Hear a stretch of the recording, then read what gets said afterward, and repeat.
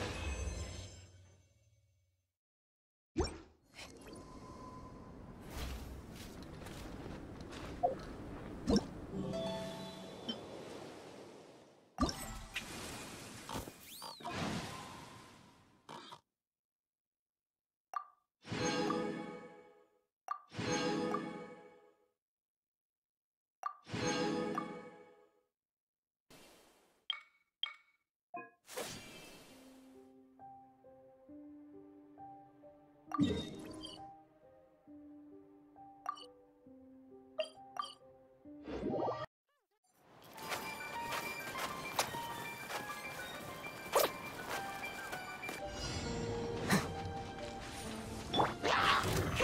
攻不落。いや邪魔をするな。吸引テスト開始。無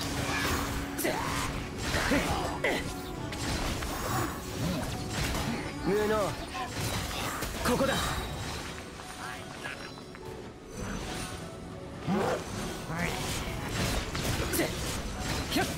無能岩山八九。しっかり立ってな。超拡散形態。安全距離。確認。6308式ユニット。無駄だ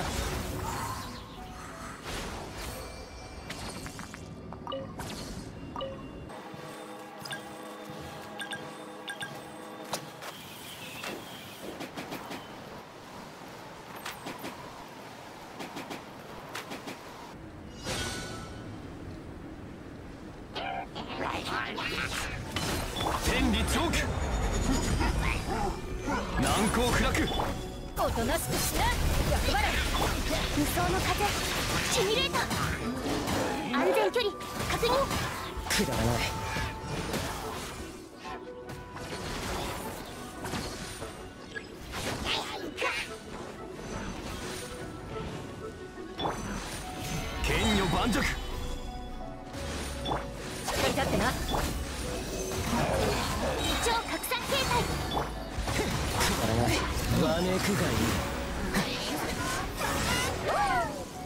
無能ここだ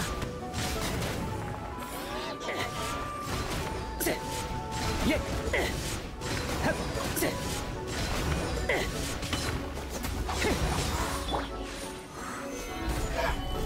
慰のリン6308式ユニット。安全距離。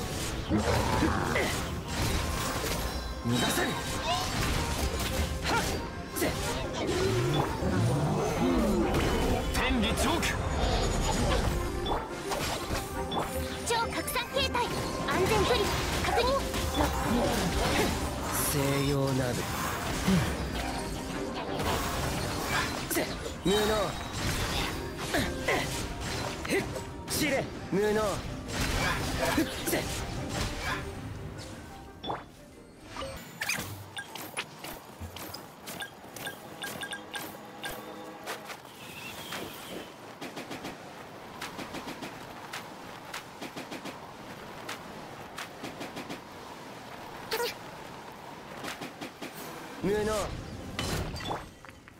岩山八九いや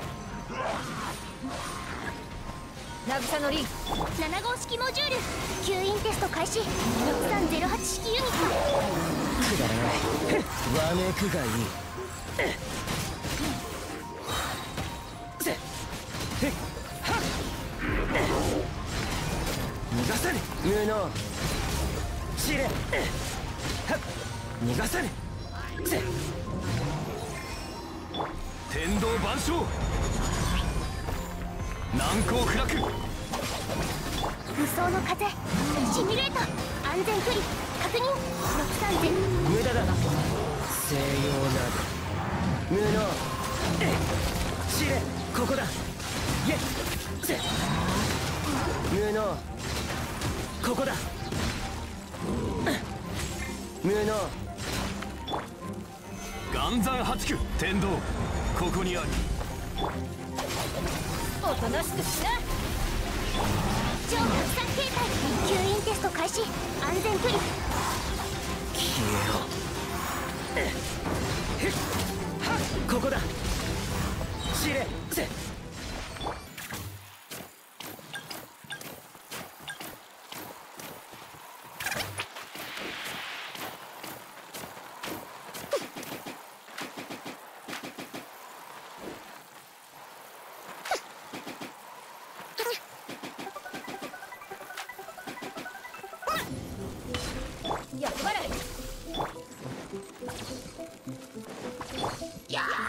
難攻不落。吸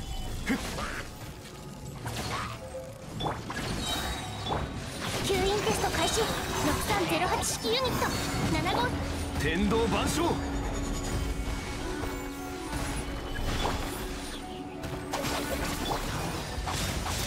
西洋鍋逃がさね無能。知れ。せ。ひゃっ。逃がさねいえはっここだ。逃がさぬ申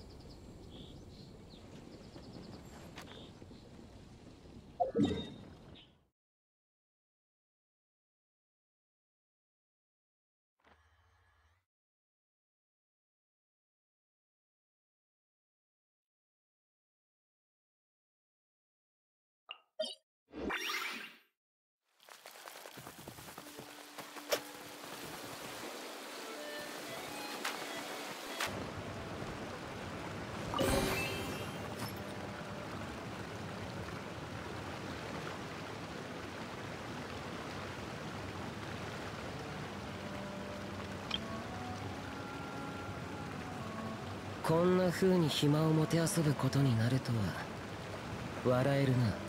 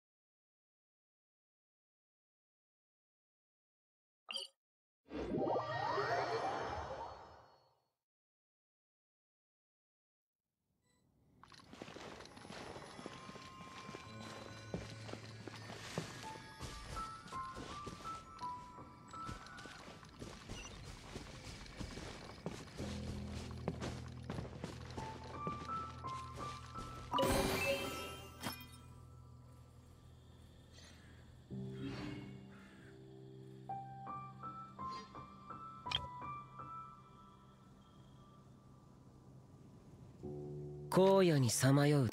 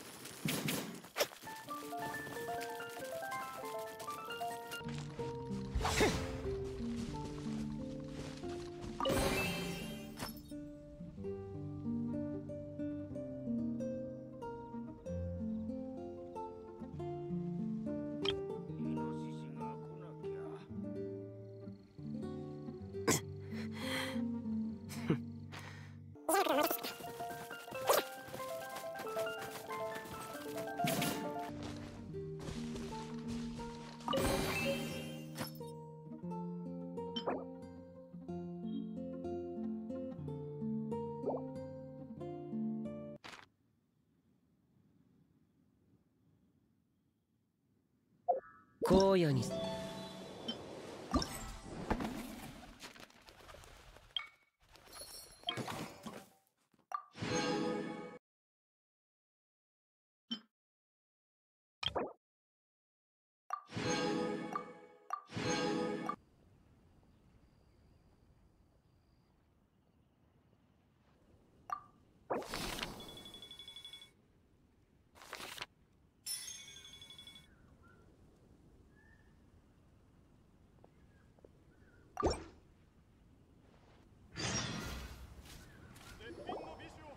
栄誉騎士とパイモン。いい知らせだ。僕たちに新たな助っ人が加わった。やっ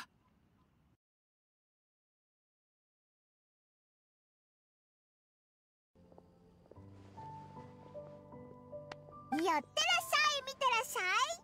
セピロスヒューヒューチャリティー連盟の特製料理に。日用雑貨それからお花はどうだ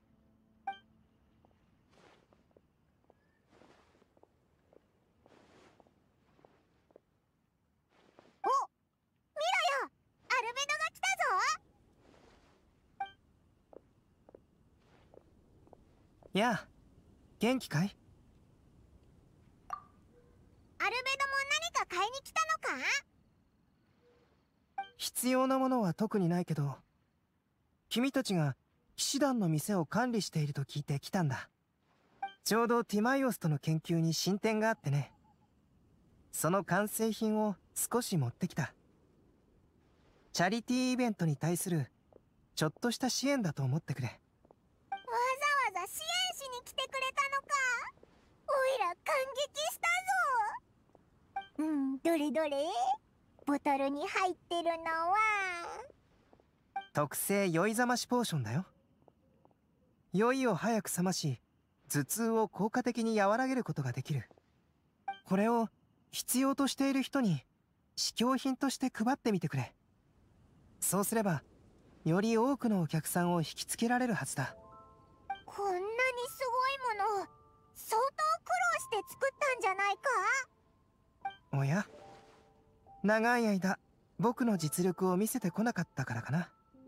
昔の僕ならこのような研究にあまり興味なかったかもしれない。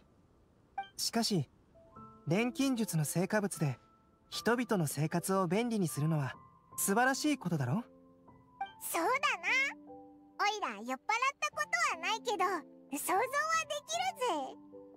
お酒を楽しんだ後に足を滑らせて湖に落ちたり石につまずいて転んだりしたらせっかくのいい気分も台無しだもんな。そうだ。この店の料理を持って帰ってクレイと一緒に食べてくれよ。オイラたちのおごりだ。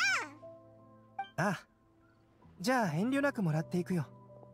まさかこれほど見事な詳細を持っていたなんてね。料理店の立地が絶妙だ。祭りの雰囲気に合っているだけでなく役割分担も合理的だよ。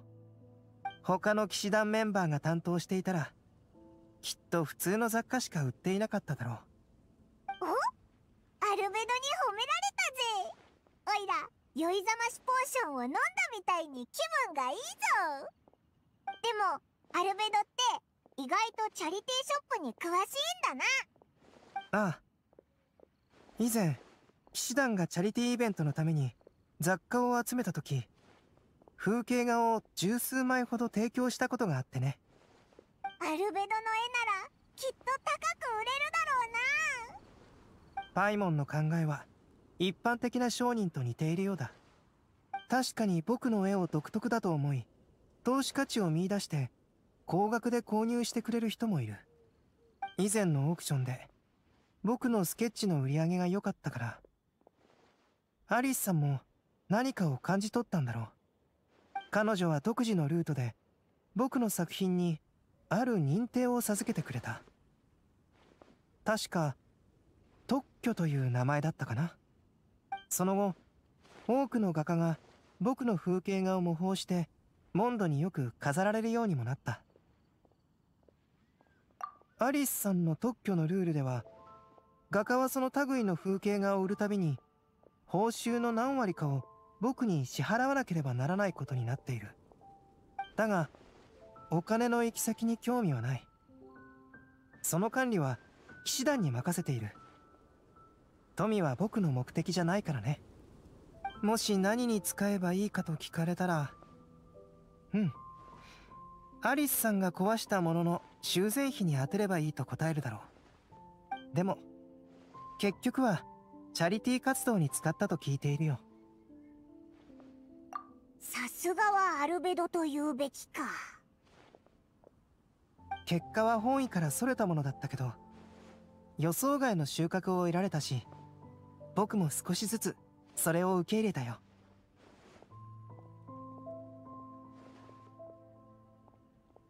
ありがとう。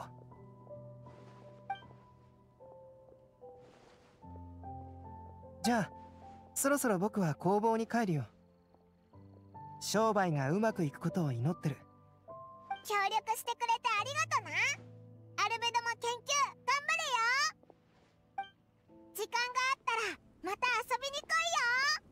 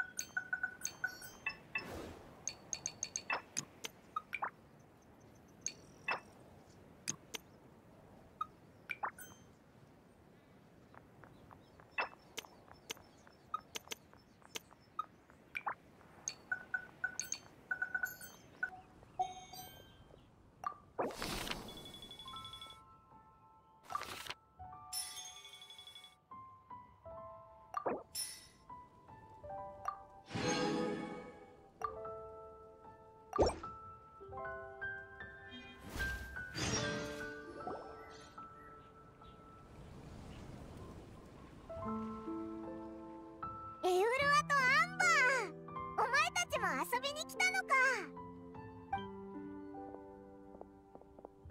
探したわ。わ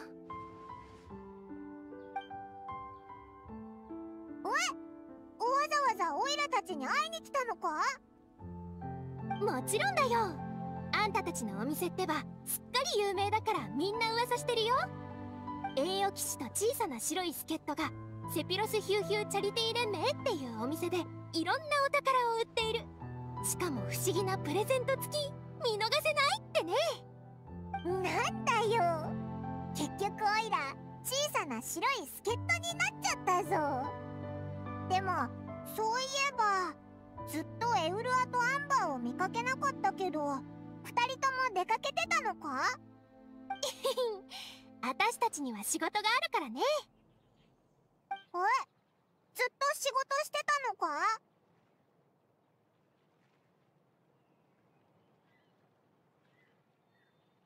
正確に言うと私とアンバーは騎士団の反休暇メンバーなの。ブリュー祭の期間中はドーンマンポートとモンド上官をキャラバンが頻繁に移動するため警戒を強める必要があるのよ。魔物や悪党に襲われるからか？ええそうよ。遊撃小隊の任務はその2箇所の間を巡回すること。キャラバンの後を追い貨物を守るさらには率先して攻撃を仕掛けたり怪しい場所を調査したりして脅威を事前に取り除くってわけ。なんだか大変そうだな。もしかしてブリュー祭が終わるまでずっと仕事なのか？そんなことないわ。交代制でやっているからね。一組は見回り一組は休憩一組は予備隊として待機するのこれを一定の周期で交代しているわ。エウルアは経験豊富な隊長だからね。エウルアの的確な指示のおかげで厳しい任務もこなすことができたんだ。別に褒めるほどのことではないわ。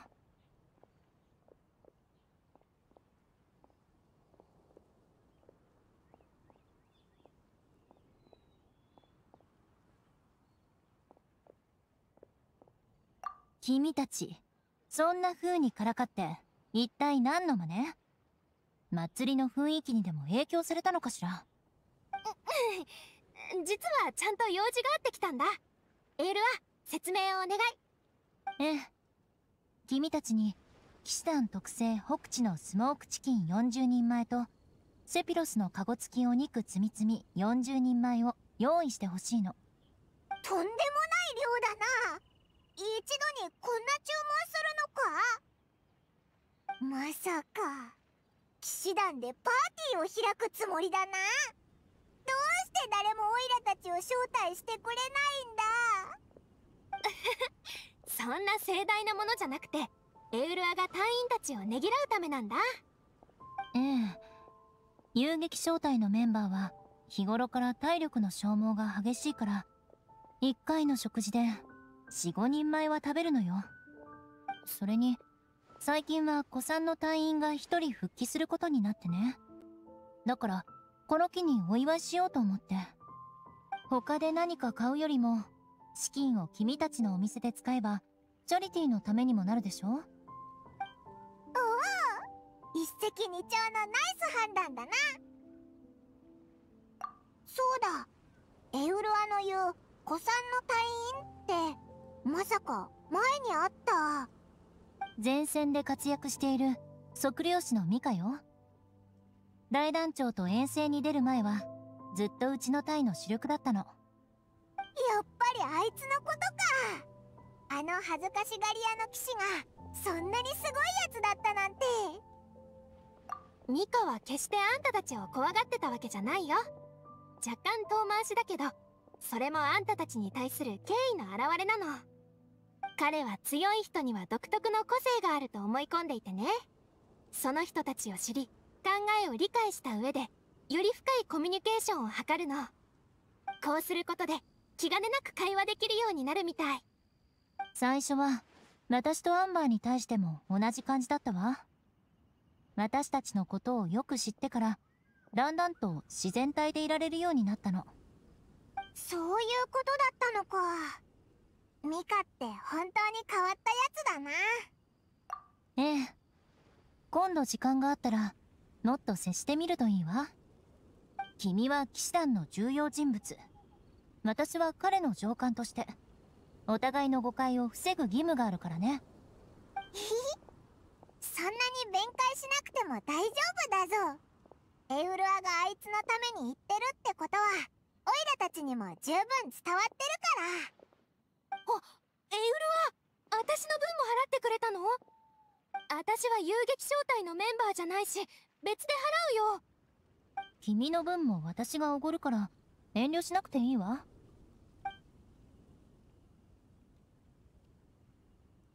ひひエウルアとアンバーのおかげで一気に前日と同じ分のモラを稼げたな。栄養騎士パイモン朗報だ二人のおかげで予想をはるかに上回る資金が集まった。大成功だよ。へへんどんなトラブルが起きてもきっと乗り越えられるってオイラ言っただろ？お店がうまくいったのは二人の指導のおかげだよ。収益はすでにチャリティー資金の担当者に渡してある。今回のチャリティーイベントもこれで無事終了だ。感謝の気持ちを込めて二人に報酬を送ろう。さあ受け取ってくれ。もうお店を開くのも怖くないぞ。今後もぜひ一緒に仕事をしてほしい。オイラもかなりいい経験になったぞ。またこんな機会があったら挑戦してみようぜ。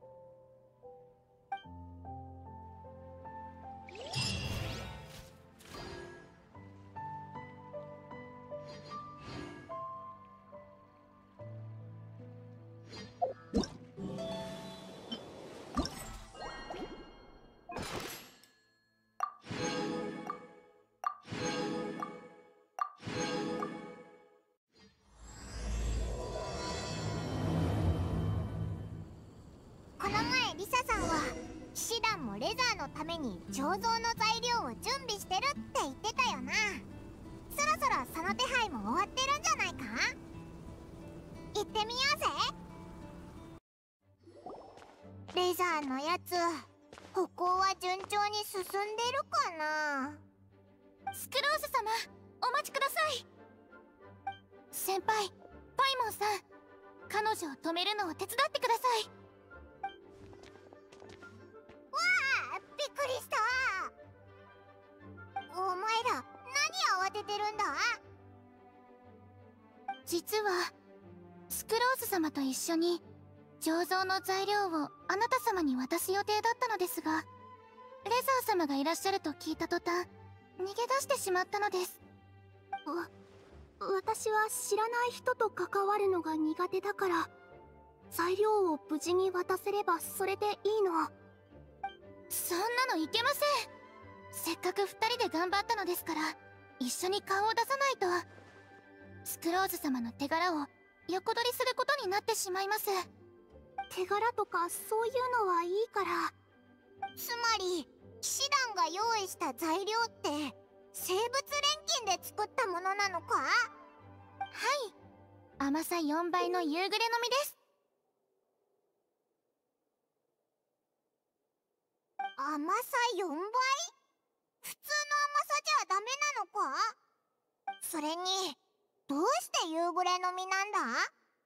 それを説明するには最初からお話しする必要があります。私はお酒の香りが好きでお酒を作ることについてもある程度勉強と経験を積んできました。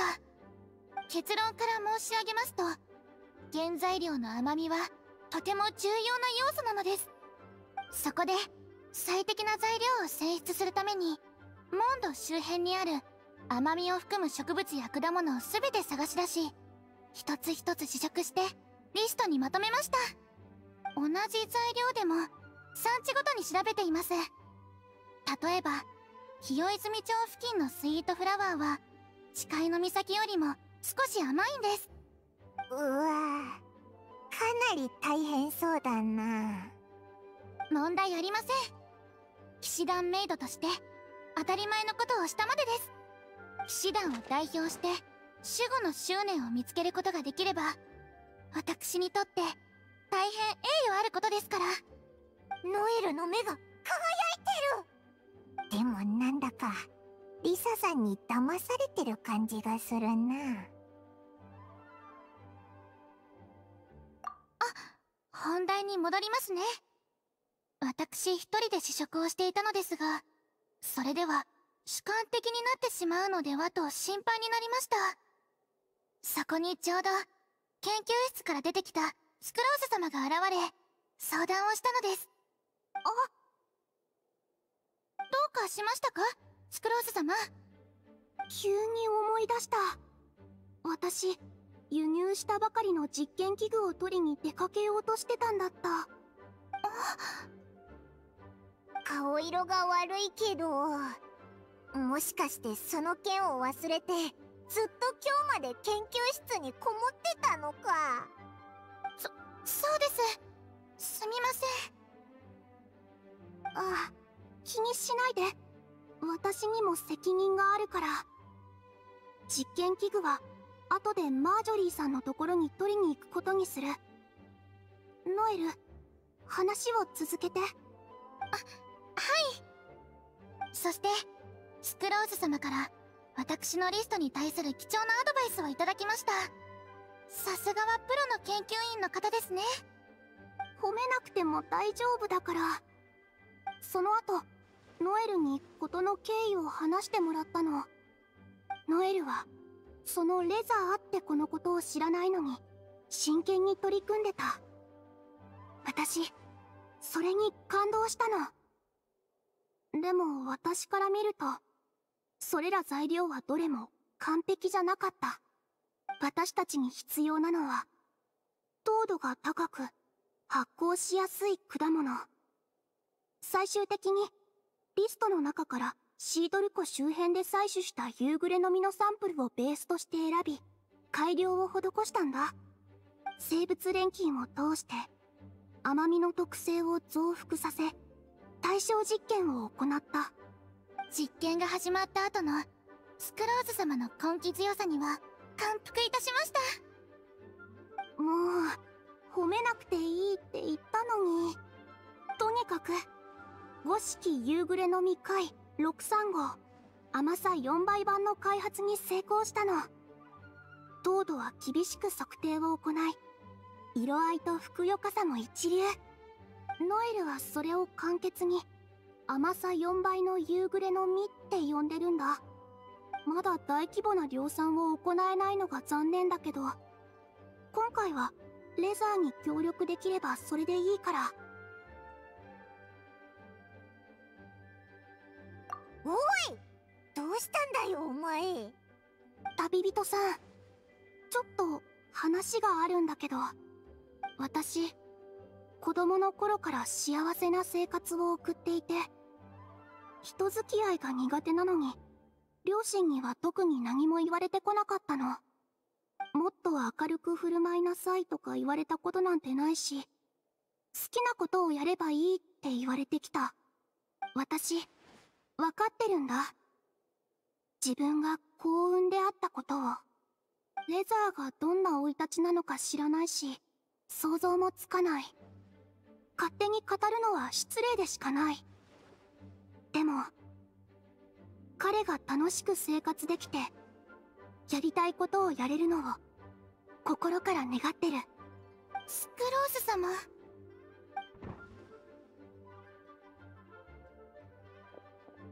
ごめん。また遅くなった。師匠時間見るの忘れた。ずっと喋ってた。気にすんな。オイラたちも話してたところだから。ってなんだか同じことをつい最近も言ったような。あれ？スクロースがいなくなってるぞ。レザー様が入ってきた途端逃げたのでしょうか？こんにちは。私はセピロス騎士団のメイドノエルです。こんにちは。こちらの材料を受け取ってください。ただ私一人で用意したものではありません。もう一人錬金術師の方にご協力いただいたのですが彼女は今そのあはい。直接彼女からお渡しできないのが残念ですポーション。花の蜜。それと風象徴みたいな匂い。合ってる。おやっぱりレザーの嗅覚はごまかせないな。この夕暮れの実。今まで嗅いできたものよりも甘い。錬金術。すごい。物をいい方向に変化させる。クレイが言ってた。はいこの甘い夕暮れの実があなたにとって最も甘く最高のお酒になるよう祈っております。みんなありがとう。次時間がある時に直接お礼を言う。お任せください。どうにかして。毎日忙しくしすぎないようにと彼女を説得して。あなたに紹介してみせます。あ俺待ってる。さて材料も揃ったし次はいよいよお酒作りだな。酒樽は確かエンジェルズシェアの屋台に置いてあるはずだ。じゃあまたなはいお気をつけて。全てがうまくいくよう応援しております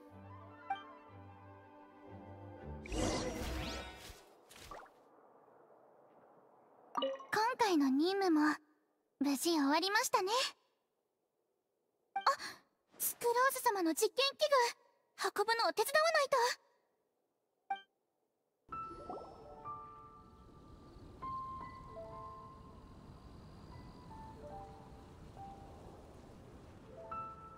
ノイル栄誉騎士のお兄ちゃんレザーこっちこっちじゃじゃーん！ディオナじゃないっきりキャッツテールの屋台に現れるもんだと思ってたけど今日まで一回も会わなかったな。許せにゃい。え？どうしたんだよ？むむむむむムカつくにゃ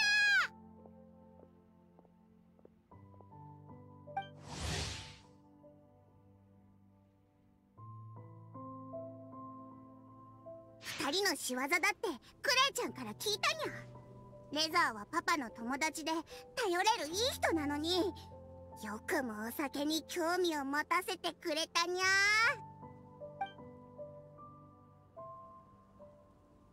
レザー絶対にテーブルに倒れるようなギャーギャー騒ぐ酔っ払いおじさんになっちゃダメだからね。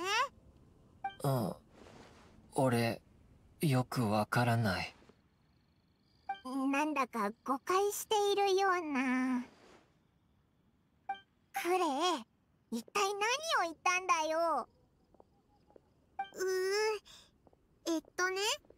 クレイリオナお姉ちゃんにレザーはママを探していてそれを栄誉騎士のお兄ちゃんが手伝ってるって言ったの。悲しんでてお酒が必要だからリオナお姉ちゃんに助けてもらおうかと思って。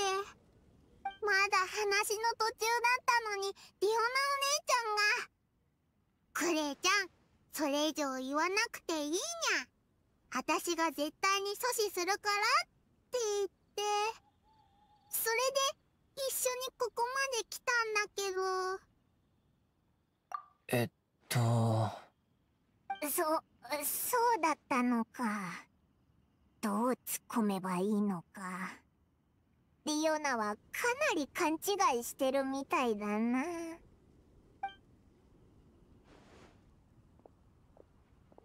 つまり、レザーは両親のことを知るために、そのお酒を再現しようとしてるってこと？うん私を騙そうとしてないよね。ディオナお姉ちゃんごめんなさい。クレイの説明が下手なせいで勘違いさせちゃった。怒らないで。レザーのお酒を作るの手伝ってくれる？クレイもお魚をたくさんドッカーンするから一緒に食べよう。ドド君もなでなでしていいや？あ、私、別に怒ってなんかないし。クレイちゃんが人助けしようとしてるのは分かった。レザーに悪い影響を与えたくないから、つい大きな声を出しちゃったにゃ。レザー自身が飲むわけじゃないなら、しょうがない。ちょっとだけ協力してあげる。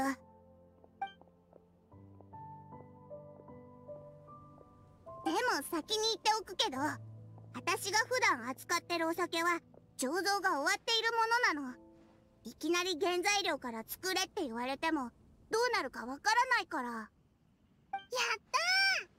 リオナお姉ちゃんはいい人だね。ああ。なたたち口だけは上手なんだから。見ときなさい。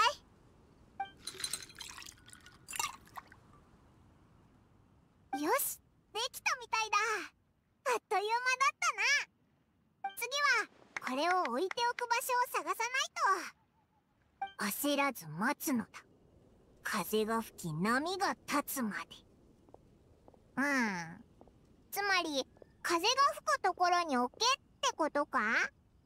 風立ちの地はどうだ？風が強い。確かに。モンドで風といえばあそこが真っ先に思い浮かぶな。ワクワク。クレイも一緒に行く？私はバカパパの監視をしないといけないから。遠慮しとく。クレイちゃんまた今度一緒に遊ぼうね。うん？約束だよ。奇遇だね。君たちも来たんだ。幻遊野郎どうしてここに？目が覚めたらいい香りが漂っててねその果実の甘い香りをたどったらここに着いたんだ。うんうん。このお酒に使ってる果実とっても甘い匂いがするよね。クレイもそう思った。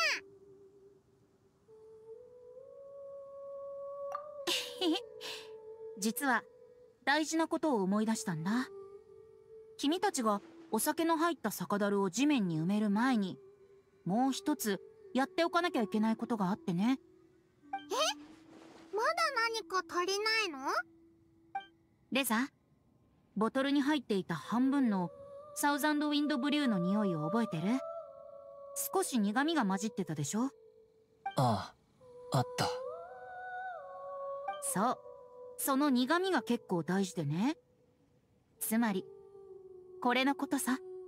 タンポポの種？ダンディライオン種はもちろん知ってるよね。モンド人にとって風は魂を連れ戻し記憶を保存しておくことができるもの。タンポポの種はその年の最初の風を集めてくる自然の宝石のようなものなんだ。それを酒樽に入れることでその当時の風も保存したことになる。こうやってビシュはその瞬間を記憶し永遠に留めてくれるんだ。つまりサウザンドウィンドブリューは最初のダンディライオン種なんだよ。おお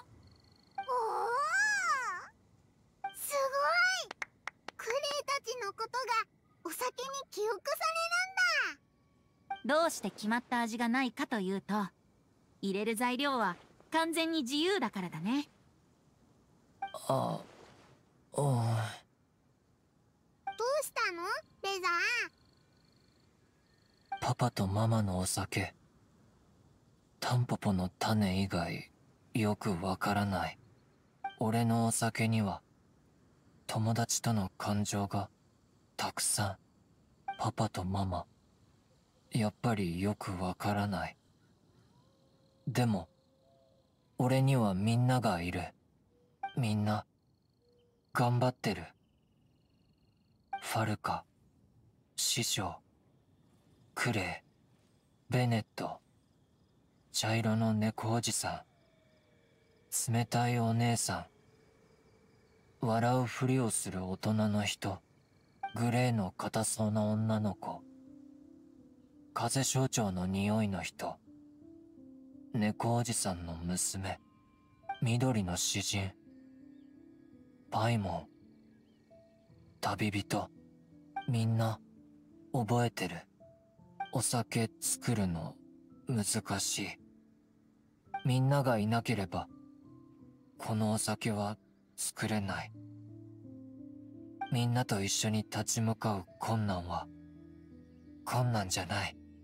俺嬉しい。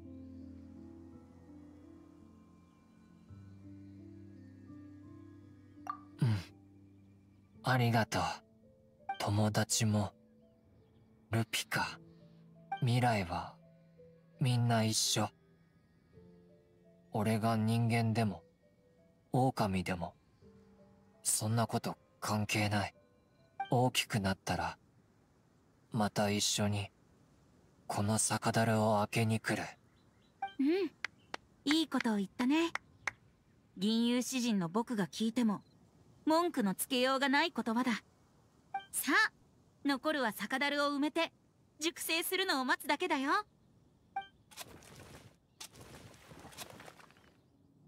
終わったな。おいらお祝いしたい気分になってきたぞ。確か明日はブリーズデイ当日だったよな。わあ風神様が帰ってくるね。そういえばそうだったね。まだ歌謡を全部覚えきれていないから僕は戻って這い上げの儀の準備をするよ。じゃあみんなまた明日。今夜はぐっすりと寝て。明日の朝は爽やかな風の音に耳を澄ますんだ。そして最高の銀融詩人の姿を見に来てね。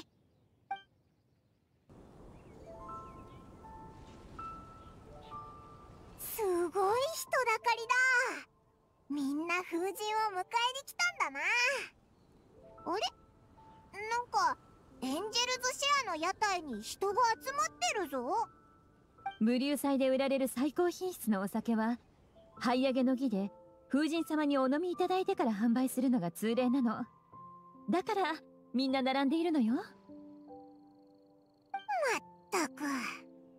あいつらにとって風神を迎えるのは形だけのことなんだな。リサさんはレザーに会いに来たのか？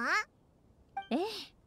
少し不安だったけどさっきレザーと話してお酒作りの旅はうまくいったと聞いたわ。今日は安心して一杯飲めるよね。うわリサさんまで。レザーたちはもうあっちにいるから早く行ってらっしゃい。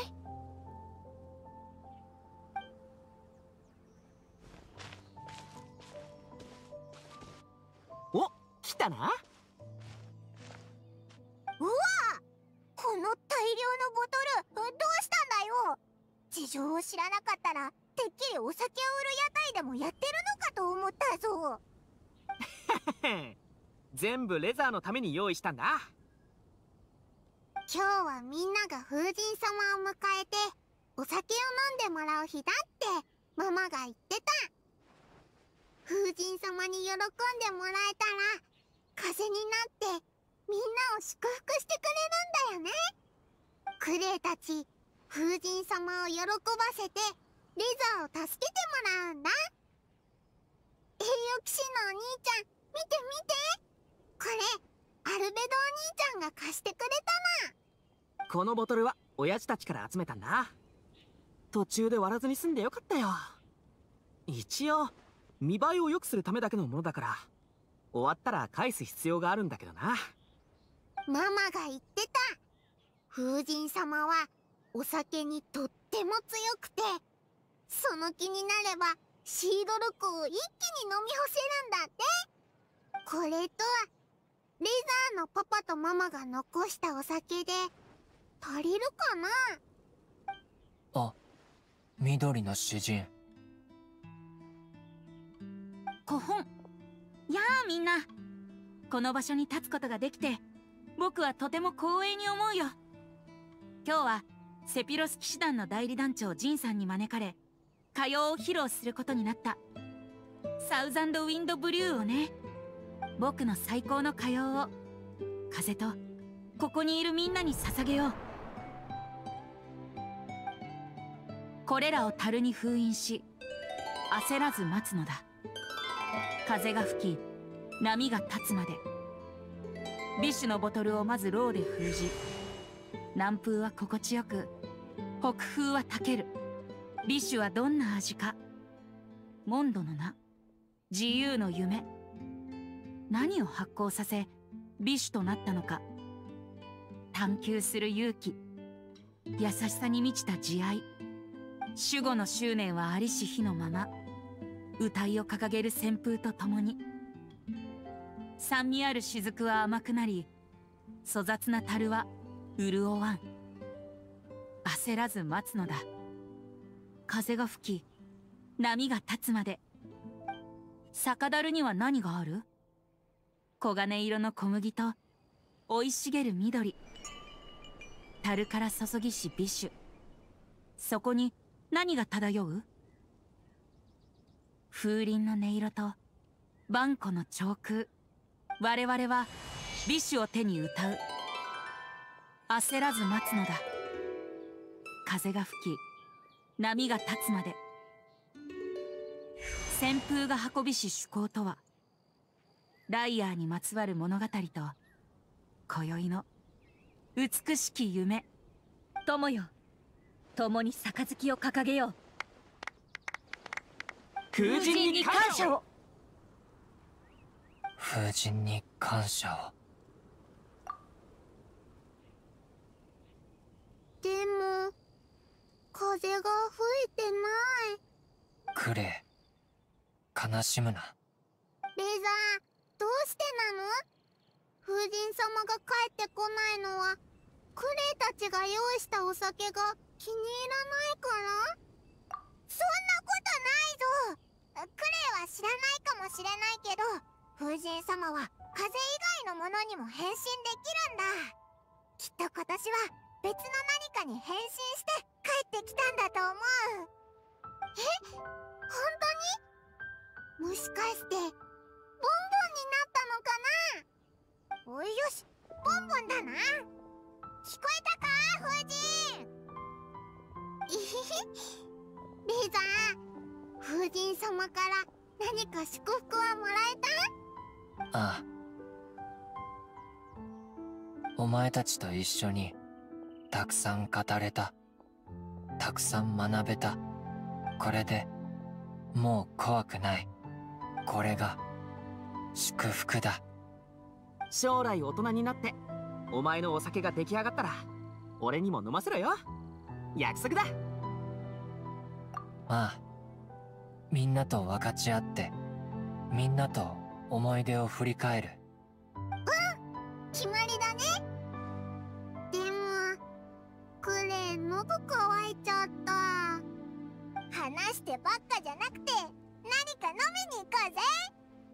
そういえばエンジェルズシアの屋台で売ってる新商品バケーションサイダーがうまいらしいぞ。飲みたい飲みたい。ああみんなで行こう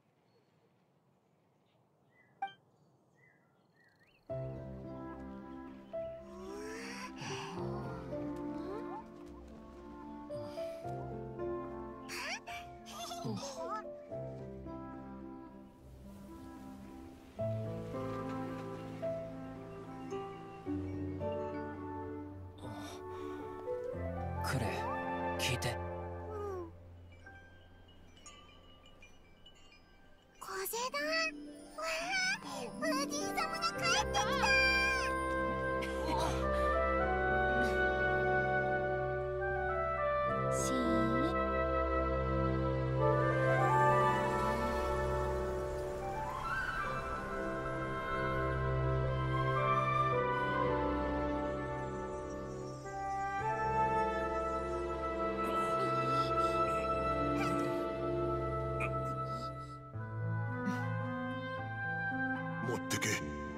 潰して骨折したところに当てろ小娘。しっかり生きろよ。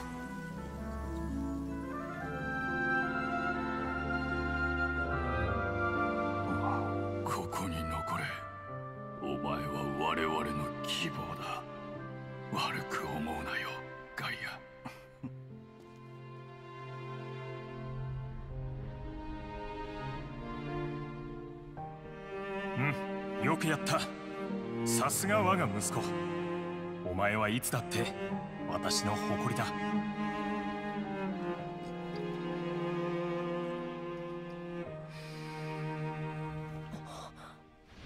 これほど時間をかけたのにまだ熟成しないとは。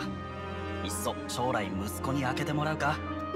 レザーって名前はどうかしら。お冒険者らしいいい名だ。それにしよう